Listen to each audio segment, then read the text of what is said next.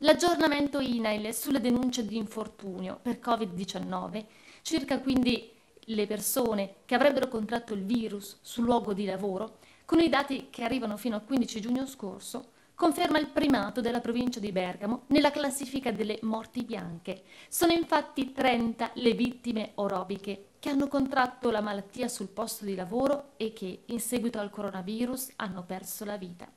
Il 12,7% del totale nazionale, quindi, delle morti bianche da coronavirus sul lavoro è in provincia di Bergamo. Cinque delle persone decedute erano residenti, in particolare in città. La Lombardia arriva da sola al 36% del dato nazionale e Bergamo è per le province quinta per numero di infortuni dovuti al coronavirus con 895 segnalazioni su un totale di 49.021 casi.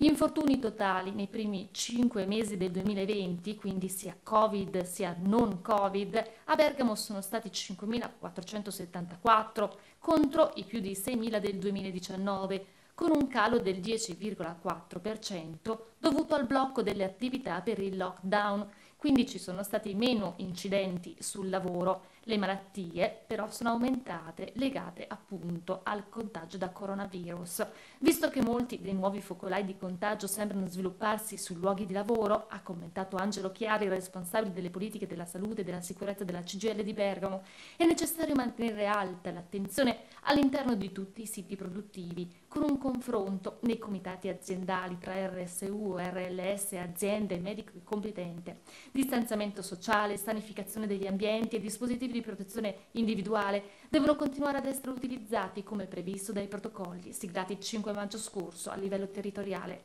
Infine il sindacato sollecita ancora una volta INAIL ad agire con urgenza nei confronti dei lavoratori colpiti da coronavirus e delle loro famiglie perché possano avere il prima possibile ciò che gli spetta.